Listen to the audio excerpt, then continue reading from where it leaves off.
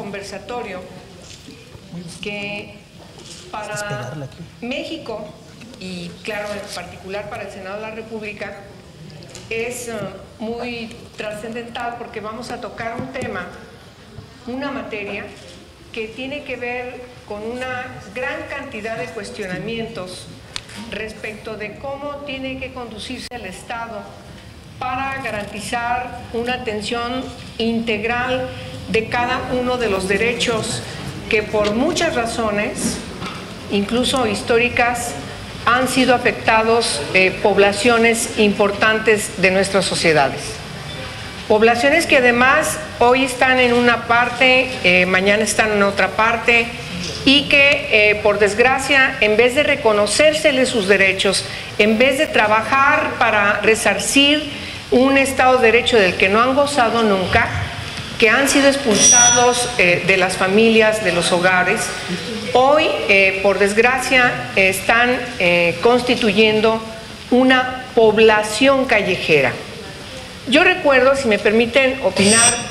hace algunos años hablábamos todavía en México de niñas y niños en situación de calle. El problema que tiene nuestro país, que yo supongo que no es diferente al problema que viven otros países en el mundo, es que ya no es una población infantil o juvenil en situación de calle, que vive en la calle o que trabaja en la calle. Estamos hablando de poblaciones callejeras que eh, además de vivir una situación muy, muy oprobiosa de una falta de ejercicio de derechos, también encontramos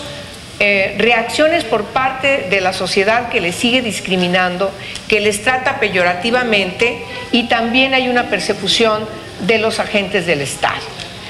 Pero de este tema nos van a hablar las expertas y los expertos que hoy me acompañan en este conversatorio, quienes nos van a decir, nos van a explicar, nos van a informar cómo es que tenemos que actuar, cuál ha sido el proceso de eh, que ahora estemos enfrentando poblaciones callejeras y cuáles han sido las mejores prácticas que se han tenido en el mundo. Y por supuesto, el resultado tiene que derivar en que desde el Senado de la República, junto con las organizaciones no gubernamentales, expertas en la materia y otras organizaciones defensoras de los derechos humanos, estemos dando respuesta eh, de manera correcta para que podamos enfrentar de manera eficiente, de manera efectiva, de manera respetuosa de los derechos humanos de todas estas personas que constituyen la población callejera.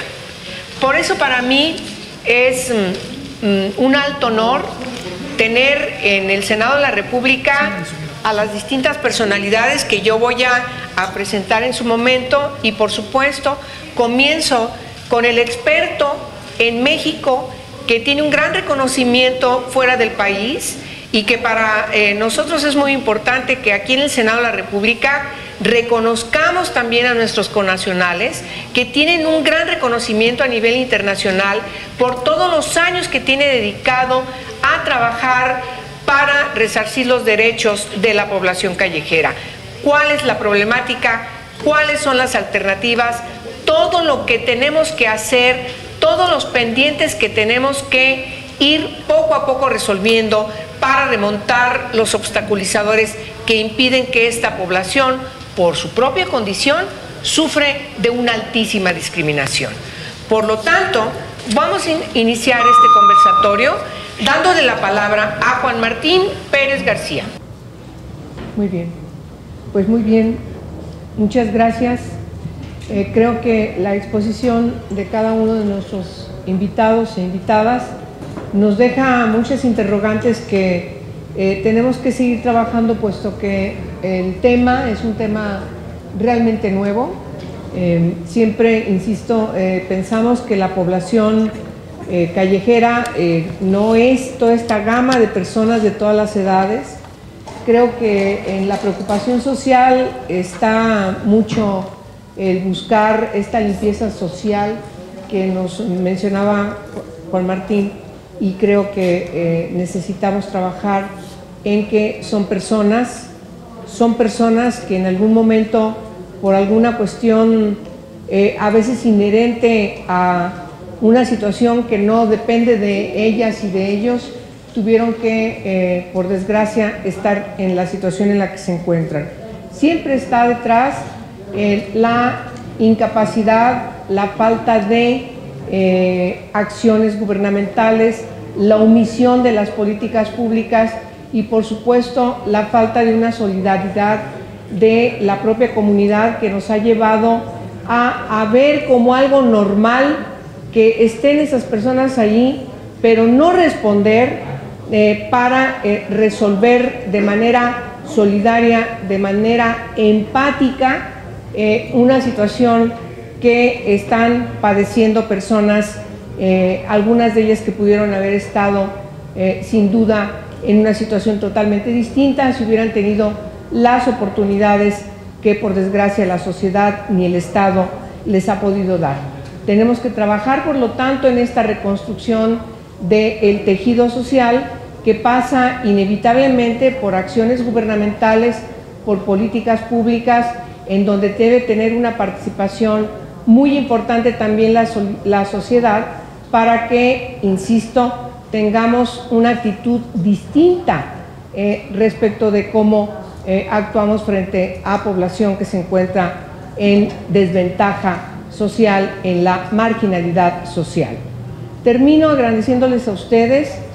solamente recordando un precepto muy importante en la Declaración Universal de los Derechos Humanos, que surge después de la Segunda Guerra Mundial, en donde, si ustedes la recuerdan, habla de que todas las personas en el planeta somos una familia humana, una sola familia humana, sin discriminación de ningún tipo, de ningún tipo. Sin embargo, cuando estamos frente a una situación como la que hoy abordamos en este foro, nos encontramos de que hay una gran falta por parte de la propia sociedad para entender que estos problemas derivaron de causas no atendidas. Tenemos mucho por hacer y agradezco mucho a Juan Martín el habernos eh, traído al Senado, a todas y todos ustedes. Muchas gracias, muchas gracias. Y tienen aquí en el Senado, por supuesto, cuando vuelvan a venir, seguramente encontrarán algunos trabajos que ustedes aquí mismo nos han eh, puesto en la mesa para que los abordemos. Buenas noches, buenas noches a ustedes también.